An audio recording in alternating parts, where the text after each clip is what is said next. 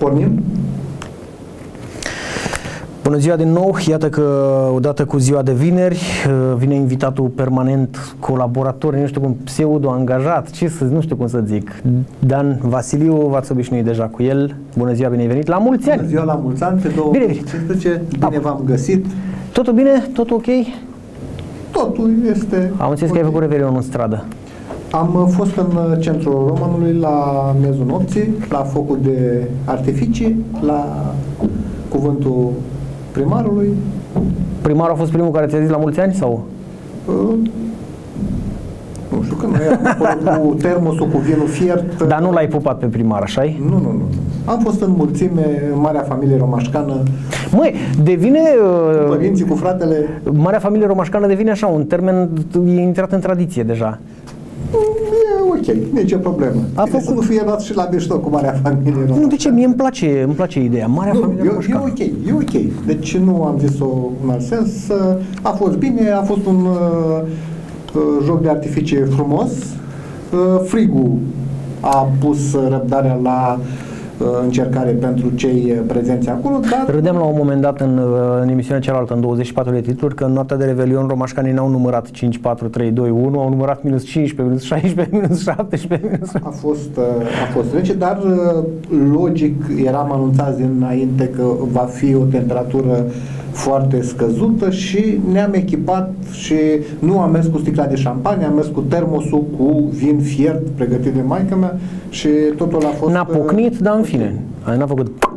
Am uh, pocnit, noi au pocnit uh, artificiile. artificiile, deci uh, răul și relele s-au speriat și am intrat cu bine în 2015. Sper să fie un an bun pentru tine, pentru toată lumea. Da, mulțumesc, eu sper Pornim? din tot. Pornim, bineînțeles. Apropo de Marea Familie Romașcană, se pare că Informațiile, ca să vedeți ce înseamnă presa locală, informațiile pe marginea aceluiași subiect uh, diferă cumva cel puțin ca titlu. În unele părți am citit că ne împuținăm pe an ce trece, alții spun că o ducem mai bine și că ne mulțim, de fapt. Uh, urmează să vedem un material uh, care, um, în care Biroul de, de Stare Civilă a dat niște statistici ale anului 2014 comparativ cu anii din urmă. O să vedem exact ce spune purtătorul de cuvânt al primăriei Roman, Constantin Cudalb și pe urmă o să, o să, o să comentăm puțin. O statistică efectuată de Biroul de Stare Civilă Roman pentru perioada 1 ianuarie 2012-31 decembrie 2014 arată că anul 2012 a fost un an în care s-au născut foarte mulți copii. Numărul deceselor se situează în fiecare an în jur de 800, dar într-o ușoară scădere față de 2012. În același timp, în 2014, mai multe cupluri au spus da în fața ofițerului de stare civilă. Conform datelor, în 2012 s-au înregistrat 1477 de nașteri, 396 de căsătorii și 768 de decese. În 2013 s-au înregistrat 1460 de nașteri, 361 de căsătorii și 839 de decese. În 2014 s-au înregistrat 1370 de nașteri, 381 de căsătorii și 778 de decese.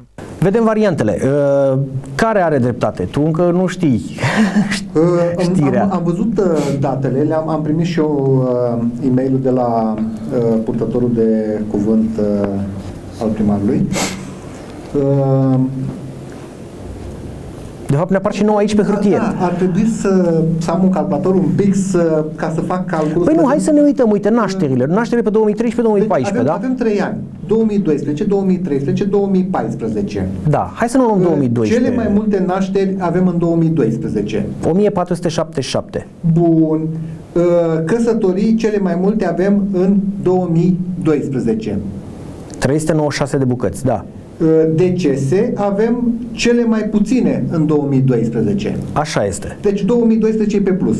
Da, e un an bun pentru viață. Da. În 2013 avem uh, 1460 decese, de nașteri. 1460 de, de nașteri, 839 de decese. Cele mai multe din, uh, din, din ultimii cei trei ani, ani luați în, uh, în calcul aici și căsătorii 361, cele mai puține din cei trei ani.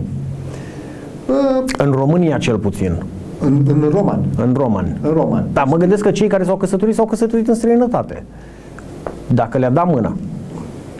Fiecare unde a apucat, unde a vrut, unde... Deci, într-adevăr, e dificil să spui în momentul ăsta, în momentul ăsta, E clar, cei de la Biroul de Stare Civilă au datele Au și datele pot mult spune mai dacă ne complete. împuținăm sau nu ne împuținăm. Dar titlul nostru este mai puține nașteri, deși sunt mai multe căsătorii. Uh, Nu mai fac oamenii copii sau de ce? Nu mai au uh, libido, nu, nu mai funcționează sau uh, cum vedem? Lumea stă, se gândește de două ori înainte de a uh, lua hotărârea în cuplu de a aduce pe lume un copil. Pentru că uh, e simplu. Hop, îi dăm drumul în, uh, în lume. Ce facem cu el? Trebuie să-l creștem. Cum îl creștem? Cu ce, îi oferim? Corect. Aici vine întrebarea. Da. Ce îi oferim? Uh, domnule, uh, sunt unii care se gândesc, domnule, eu am suferit în copilărie, nu vreau să mai am, să nu pot să ofer uh, În general se merge pe povestea asta. Mă, eu când eram copil mi-au lipsit toate celea.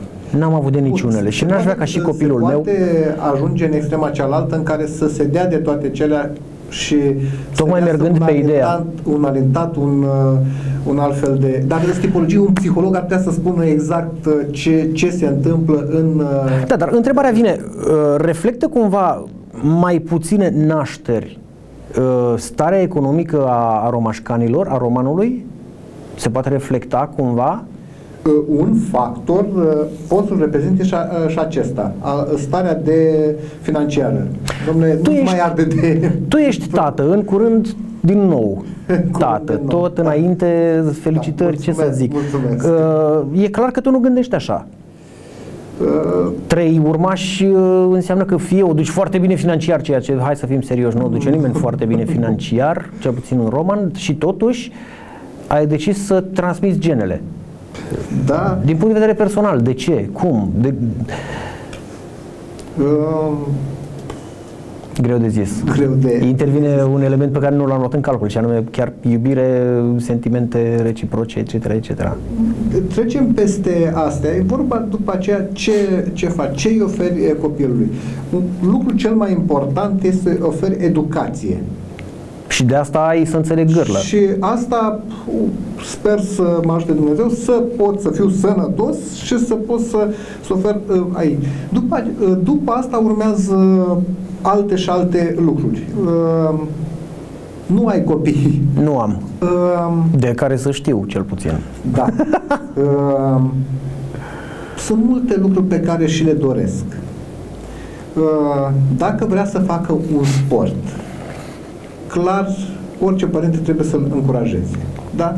Domnule, bun, uh, partea de educație, educație, și, uh, sportul, iarăși, mens sana in corpore sana, deci uh, corpore sano, e un uh, concept vechi și adevărat și actual și acum. Actual, bineînțeles. E, uh, dacă vrea să, să facă fotbal, uh, deci să, să ducă spre fotbal, uh, și majoritatea băieților se duc spre fotbal, cel puțin în, uh, în primă fază, după care are un loc o selecție naturală, am uh, trăit-o cu fiicelul meu, care și-a dat seama că trebuie Unii sunt făcuți pentru și alții unii nu sunt făcuți și alții pentru. Nu pentru, pentru fotbal.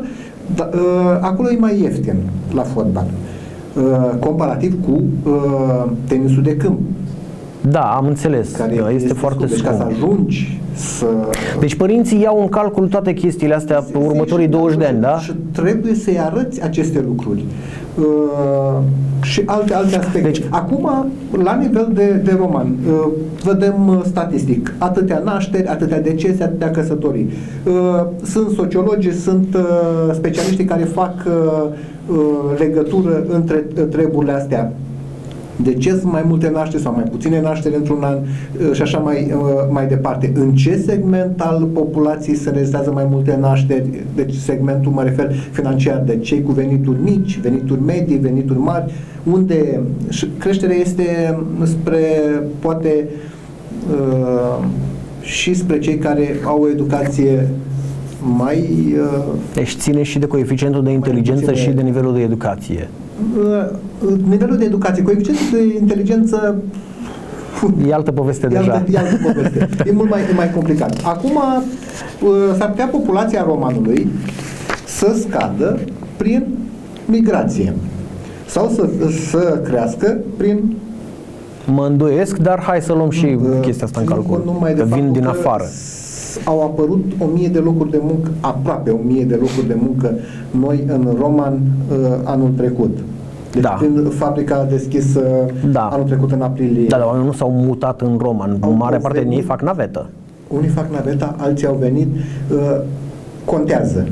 Și în mod indirect, deci uh, locurile de muncă de acolo mai creează alte locuri de muncă uh, în altă parte. Transportatori, De- Transportatorul L, că e unul singur oficial care aduce oameni Acum da, e un, uh, un singur transportator, nu cred că o să rămână tot timpul așa, uh, pentru că În mod sunt- normal sunt ar niște trebui să reguli existe o foarte piață stricte concurențială uh, și aici. Există și uh, e de discutat, dar un transportator care ar trebui să angajeze șoferi, să angajeze mecanici, Da. ca să întrețină și așa mai departe. Uh, Plus, plus alte uh, chestii referitoare la uh, cazarea, deci locuri, bani duși în sistemul hotelier din, din Roman, prin, uh, și nu numai uh, pentru fabrica aceasta, și celelalte fabrici. Apar delegații din, uh, Da. din alte părți, apar de la firmele uh, de la sediile centrale din București, uh, care vin în control, în inspecție. Deci e, e un aflux de,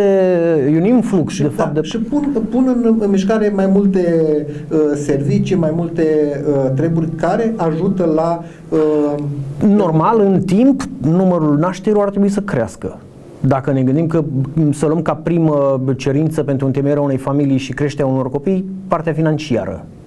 Da, Odată da. cu banii vor veni și pentru că e clar, ai bani, ai ce să-i oferi copilului și atunci vine ideea, băi, hai să facem vreo 2, 3, 5, cât o fi. Exact. Încă, e clar că în momentul ăsta nu știm exact scădem, nu scădem ca număr, bă, noi sperăm să creștem. E un oraș frumos și merită să fie și populat. Punctul meu de vedere. Deci numărul de naștere a scăzut din 2012 până în 2014. S-ar putea să se echilibreze, de exemplu, anul acesta sau peste 2 ani.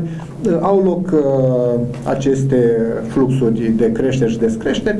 Acum Sunt nu știu absolut per normale. ansamblu, per uh, toată țara ce și cum se poate uh, interpreta.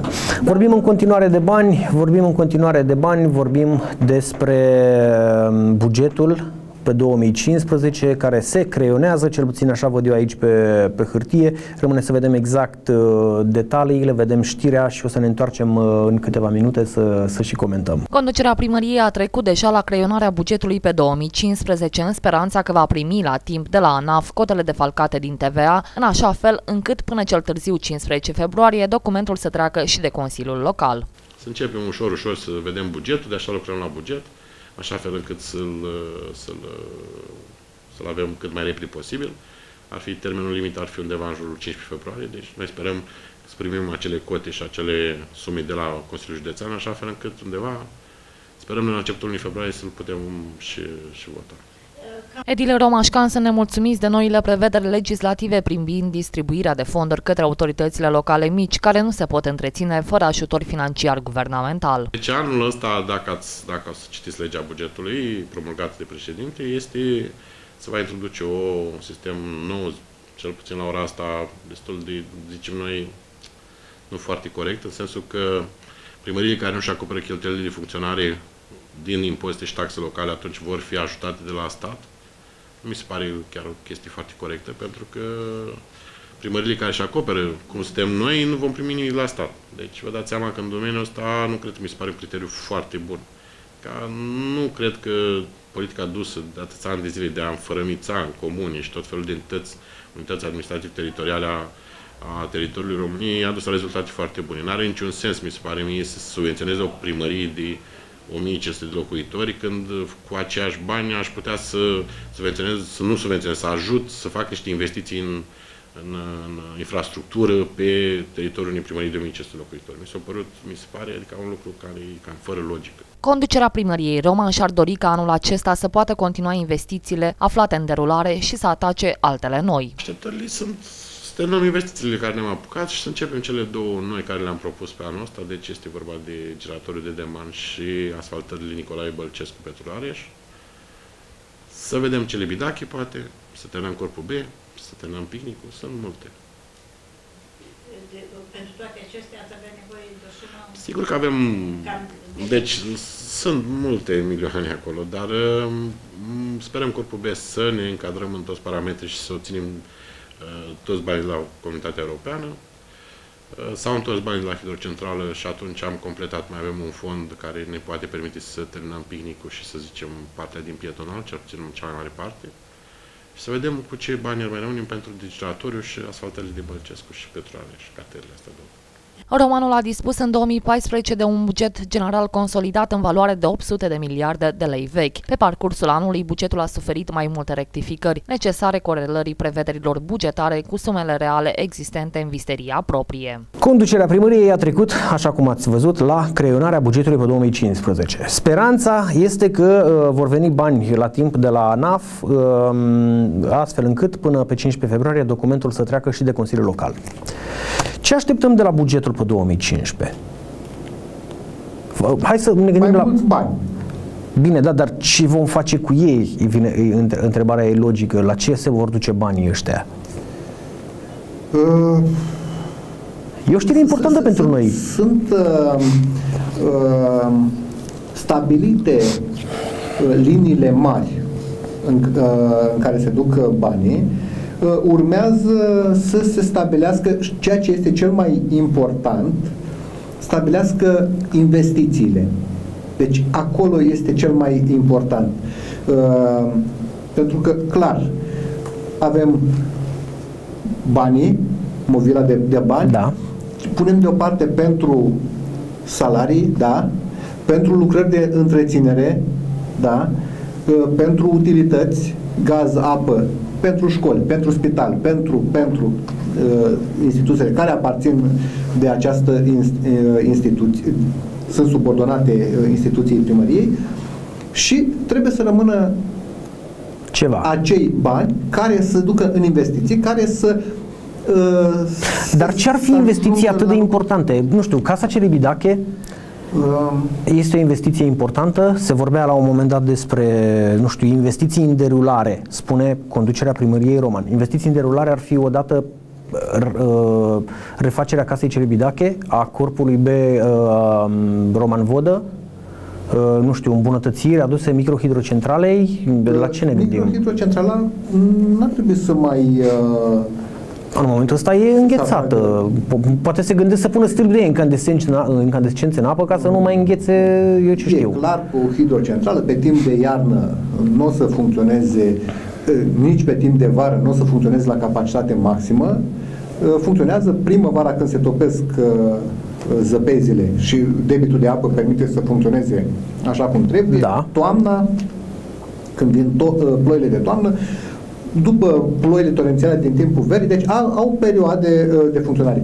Eh, Trăgând linie, hidrocentrala ar trebui, s- microhidrocentrala ar trebui să se poată susține pentru plata salariilor și pentru un plus la bugetul uh, local fără Da. nicio problemă. Deci acolo n-ar trebui să se mai uh, uh, pape bani. Adică chiar dacă bugetul prevede, domnule, pentru mine, dar banii respectivi vin din vânzarea Curentului electric. curentului Corect. electric. Uh, Corpul B de la, de la Roman Vodă, uh, banii europeni, uh, primăria are numai puțin de dat, e prevăzut, uh, în mod sigur, linia e trasată. Școala Celibidache uh, bănuiesc că de-abia anul acesta o să poată să se stabilească în funcție de uh, ce, uh, cum se finalizează uh, repartiția fondurilor și a programelor uh, și stabilirea uh, condițiilor de accesare a banilor europeni, uh, o să facă și acolo tot pe bani europeni. Da. Mi s-a părea cel mai... Bun, și atunci, care sunt, nu știu, tu ești mai în, în să, să ducă. Ce ar trebui să facă? Uh, să toate continue școlile- investițiile în derulare. Păi, nu știu ce, ce investiții mai Asta au ei în, în ce e derulare. biblioteca municipală. Uh, Se finalizează anul Se acesta. finalizează anul ăsta, în toamnă, da? Da. Deci uh, aici e ok. Iarăși, Așa se uh, presupune. uh, Bucățica de buget este prevăzut, uh, e ok. Dar în continuare trebuie bani. Pentru eventuale, eu ce știu, uh, probleme care vor apărea pe traseu. Normal trebuie să fie uh, prevăzuți bani pentru reparațiile la școli, pentru uh, mi s-ar o, mi s-ar părea o chestie interesantă și de luat în calcul și cred că este luat în calcul pentru uh, uh, eficientizarea sistemelor de uh, încălzire a școlilor, Da. deci uh, izolații... Da, să nu centrale ajungem ca ea de la electrice. Strihaia să stea cu cecele pe ei în clasă. Nu, nu cred că ar fi râsul lumii să, să ajungem ca ăia. E, e un prost management uh, acolo, în localitățile respectiv, de la primar și de la directorul școlii, ca să nu poți să asiguri uh, căldura. În fine, uh, cum să spun, cu 15 ani în urmă mi se părea aberant, și, și acea treabă există și acum și mi se pare și mai aberantă, ca în școlile din România să mai existe sobe pe lemne Da. Na. este centrala termică pe lemne. Da, și, Mult mai eficientă și uh, dar care necesită niște investiții mari. Nu, e, nu sunt investiții foarte mari. Sunt, nu, sunt foarte investiții mari, dar sunt pentru mari. Că școlile au oameni de întreținere, deci pot să pregătească o mare parte din uh, uh, uh, teren pentru uh, a se efectua uh, lucrările de montare a caloriferelor și asta, se, uh, cu un buget bine ales, uh, defalcat pe 3 ani de zile, Da. deci din, din 2000, nu spun din 90, din, din 2000, cu un buget defalcat pe 3 ani de zile se putea face achiziția de centrală și de calorifere, Da. achiziția de fitingăraie și de asta în al doilea an și al treilea an manopera pentru montare și, și asta. Și hai să zicem încă un an înainte, al patrulea an, pentru proiect. Și uh, demolarea sobelor, asta cade în sarcina oamenilor care sunt angajați în școlii. Dacă s- uh, se vrea, se poate, dar Bun, în cazul ăsta, uite, mă uit, Romanul a dispus în 2014 de un buget general consolidat, eu exact nu știu ce înseamnă buget general consolidat, de 800 de miliarde de lei vechi. da. 800, uh, exact ce, ce înseamnă general consolidat, mie mi este absolut străină uh, formularea Nici asta. eu nu sunt uh, uh, în măsură să, să dau o definiție 100% corectă pentru... Dar mă gândesc că de vreme ce există investiții în derulare care s-au pornit pe banii ăștia, înseamnă că nu, e cam de ajuns. Ar trebui mai Banii mult, ar trebui mai reprezintă și puțin. salariile, reprezintă și uh, factura la curent electric, la gaz, la... Uh, Asta ar trebui să știe primarul, nu? Sau cine, uh, dacă e mult, e puțin, ne ajunge, nu ne ajunge, nu o să fie niciodată nu- nu destul, s-a ajuns evident. niciodată, Da. Sunt uh, mai multe de luat în calcul. De aici intervin și contractele de dezăpezire, Da, tot din banii ăștia? tot din banii ăștia. Mi se pare că îți dați degeaba. Uh, Deci, uh, la prima ninsoare am discutat aici. Da, am avut o discuție pe tema asta. Și dădusem o notă bună autorităților locale. Și Infotrafic a dat aceeași notă bună. Nu înțeleg Deci, de la, ce. atunci. Deci la prima zăpadă. Da. Când am spus că dimineață au acționat, uh, la seara deja era totul ok, inclusiv pe, pe aleile dintre blocuri. Ca să am surpriza neplăcută, ca acum, la zăpezile uh, venite din uh, seara zilei de 28 și în ziua de 29 decembrie, uh, la modul cum s-a reacționat, s-au întâlnit la primărie comitetele de uh, acțiune, comitetul de acțiune pentru situația respectivă. Nu știu ce s-a discutat, n-am, uh, n-am, uh, nu m-am dus uh, acolo, uh, nu am fost prezent la primărie la uh, discuții. Uh, Au fost uh, posturile de televiziune și au uh, uh, Am relatat zis, acolo. am zis că nu voi, uh, nu voi arăta fotografia asta, dar ți-o arăt ție. La o săptămână după ce a nins, strada mea arăta așa. Asta mă face să cred că tot contractul pe care l-a semnat primăria nu face doi bani. Uh, am ieșit în fața blocului și am eliberat aleea din, din fața scării, am eliberat uh, parcarea, parcările cu toți vecinii, deci am dat zăpada la Ține loc. și de, de oameni, corect. Absolut, am zis, domnule, aici uh, lasă că acționăm noi. Da, cât s-a putut, omul a se, făcut. Se, se poate. Zic, uh, n-am pretenția să-mi vină minutul 1 când a căzut primul fulg sau după ce s-a oprit ninsoarea în secunda, uh, în prima secundă să vină utilajul de dezăpezire. Zic, dar noi pregătim și am pregătit terenul, putea să intre uh, la 24 de ore, putea să intre și ambulanța și uh, mașina pompierilor pe alea dintre blocuri. Uh, am făcut, uh, dar aveam nevoie de utilaj care să vină să treacă odată. Corect. Pentru că nu puteam la lopată, chiar dacă ar fi venit toți vecinii, și bărbați și femei și copii de la 5 ani în sus, să dea la uh, zăpadă, nu s-ar fi putut, dat. noi să n-a venit și în ziua de astăzi. Uh, ceea ce nu mi se pare uh, corect. Uh, incompetența autorităților locale rezultă și din faptul că nici măcar parcările cu plată La asta mă gândeam nu le-au acum. eliberat. La asta mă Nene, gândeam vrei și eu. bani de acolo? Pusese un coleg de breaslă întrebarea de bun simț de altfel, de vreme de ce mai plă- nu, de ce nu este dezăpezită parcarea? Nu mai știu unde a fost întrebarea, la spital, la o conferință de la spital sau ceva de genul ăsta. Domnule, era să-mi rup piciorul în parcare, pe gheață. Păi da, a nins afară, știți că e fric. Da, dar parcarea e cu plată.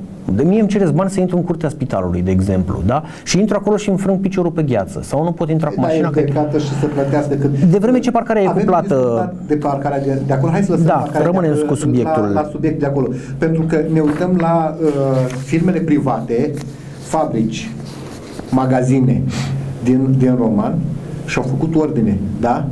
Nu Și peste tot.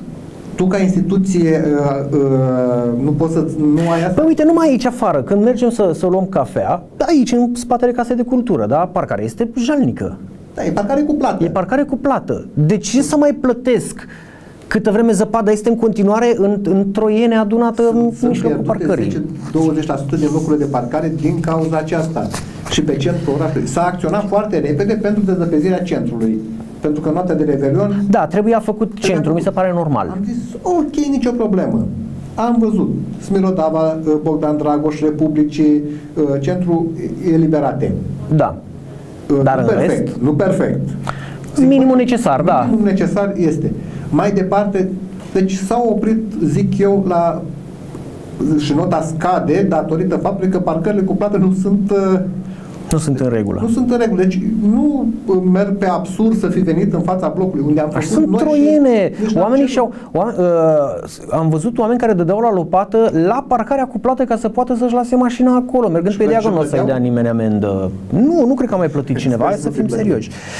Mergem mai departe? Mergem pe, da, mergem mai departe. Mergem uh, pe probleme cauzate în continuare de zăpadă și de uh, starea proastă a drumurilor, chiar și la nivel județean și, bineînțeles, a neatenției, pentru că toate astea acumulate duc la accidente de cele mai multe ori. Hai să-i zicem neatenție. Ne- să pornim de la neatenție, da? dăm materialul și- Ved- Hai, făm prezentarea și ne întoarcem în... uh, Despre accidentul în care a fost implicat senatorul Cadar, prietenul presei.